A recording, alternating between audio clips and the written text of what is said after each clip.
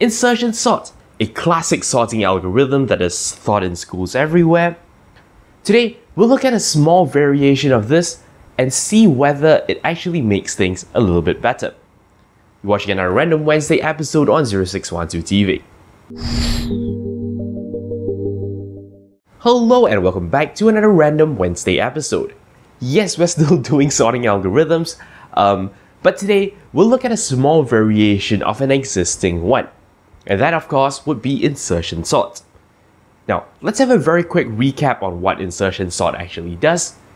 Here's the idea we have our unsorted list, and well, the first item can be considered sorted on its own. We go to the next item, and essentially the idea is we want to keep shifting it back so that we form a sorted sublist on the left. We pick up the next item, right, and we keep shifting it back until, again, we have a sorted sublist on the left. So you get the idea. Every item is picked up and moved into an appropriate position on the left sublist. Essentially, our left sublist is sorted at all times, whereas we have an unsorted right sublist in which we are going to have to pick up items and slot them into the right place on our left sublist. So yeah, a sorted sublist grows while the unsorted sublist diminishes. That's what insertion sort is doing. Now, you might be wondering this. Isn't that somewhat inefficient? Well, the answer is yes, of course. Insertion sort is an ON square algorithm, but because we are basically taking an item and comparing it linearly against things, you know, one by one until we finally find the correct position, we seem to be doing a lot of redundant work.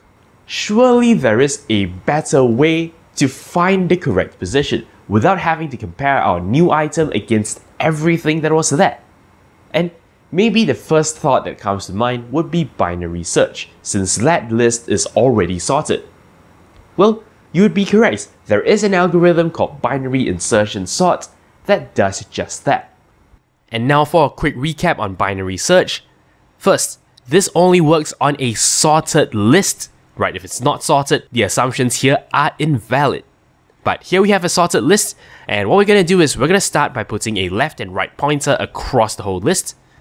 We find the middle position and check to see if it's smaller or larger than what we're looking for. Let's say in this case we want to look for the number 5.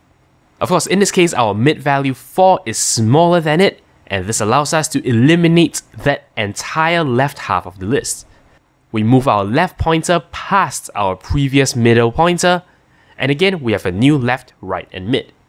Because 6 is larger than 5, again we eliminate that half of the list, we shift our pointers, and we find ourselves looking at just one element, 5, the element we want to look for.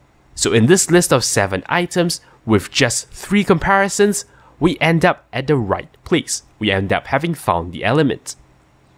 Finally, we can combine these two things together to create binary insertion sort. Now, the first item isn't so interesting because in and of itself it's already sorted, right? No insertion can happen. So let's start from our second item instead. The idea is we want to binary search our sorted sublist to see where this new item goes to. In this case, because we only have one item, well, that one item has already been flagged out, right? Our terminating condition for binary search is when left and right end up together. Now, in this case, we actually have to do one more step, and that is to see where this element should be relative to the element that has been so-called found. We compare 3 and 7 and find that since 7 is greater than 3, it must come after 3. Let's go on to our next item. 1, in this case, we do binary search. 1 is less than 3, and therefore our right pointer goes left of our left pointer. Even though this looks a bit strange, we can still get the midpoint of the left and right pointers, and this indicates the number 3. Comparing 1 against 3, we see that 1 is smaller. This indicates to us that 1 needs to come before 3, and therefore it is inserted there. So we move on again to the next item, right, we pick up 4, we do binary search, and that eventually flags out 7 as, well, the so-called selected item. We have to do one more comparison, right, 4 versus 7, we find that 4 needs to be inserted left of 7, like so. You get the idea, right? We rinse and repeat with 6. We end up at 7. 6 is less than 7, so it's inserted on the left. 2. Again, binary search, and what happens is we end up at 3. 2 is less than 3, so it's inserted on its left. 5. Again, we do our binary search, and this time we converge on 4. Because 5 is greater than 4, we insert it on the right of that. And there you go, that is binary insertion sort in a nutshell. Now, there is one case we didn't consider here, which is what happens if there are repeated elements. But as it turns out, it's exactly the same. You do binary search, and what happens is, well, whether or not your binary search runs to completion doesn't matter. Eventually, you'll find that the item here is equals to the item you want to insert. No problem. We simply insert the new item either to the left or the right of this, right? Doesn't matter as long as you do it consistently every time. Ultimately, because these two elements belong together, it's going to be the same. Now, in terms of how much work needs to be done um, between these two sorting algorithms, insertion sort, of course, as a quick recap, will do a minimum of one comparison. That's of course in the best case, in which, well, this item checks itself against, you know, its neighbor on the left, realizes that this item is already smaller, so I don't have to go further, right? This item can be put right down where it came from. In such a case, you only do one comparison, right? No more work needed. Of course, in the worst case, this is the very last item, and it happens to need to be sort of bubbled all the way to the left. In that case, you need to do n comparisons, right? You need to go all the way across the list. So these are the sort of terms we're looking at for our normal insertion sort. With this, we can move on to binary insertion sort. The idea is this, again at a minimum we only need to do one comparison, and that is if these two items are the same, right? Your mid, the very first mid you see, is the same as the item you want to insert. As a result, you simply insert it around the same place, you're dead. In the worst case, well, you basically have to find the item that is closest to this item you want to insert, and that's going to take up to log n comparisons. And then technically you do need to do one more, right, to know which site to insert our new item into. However, log n is less than n, so it appears that, well, we do actually have better performance for binary insertion sort. So at face value, this is great. What this means is things are more efficient than your normal insertion sort.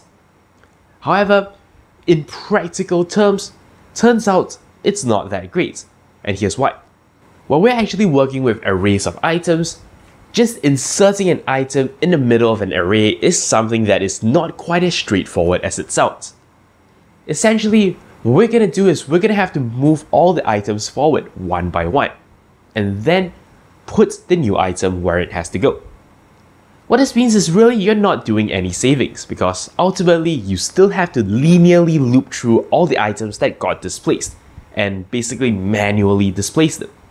The normal insertion sort basically performs swaps as you move the item backwards. So that, you know, complexity is basically already included in what normal insertion sort actually does. And this, ladies and gentlemen, is why binary insertion sort is still slow. It's still an ON square algorithm, unless you can somehow magically not have to shift the items. If that was somehow possible, binary insertion sort would have become O and log n. We know this because we are basically performing n times log n operations. Right, basically we have a list of n items, we are visiting each one of them, and for each, we are performing a log n binary search, so that would give us n log n. However, because we still have to incur the time of shifting all the items within the array, we don't get to enjoy this benefit. So yeah, because of this problem, binary insertion sort is still an ON square operation. However, if you thought of this as an optimization to insertion sorts, then good job, that means you're thinking. A lot of students, I realize, you know, actually ask me this or, you know, kick this idea around in their head. And that's good.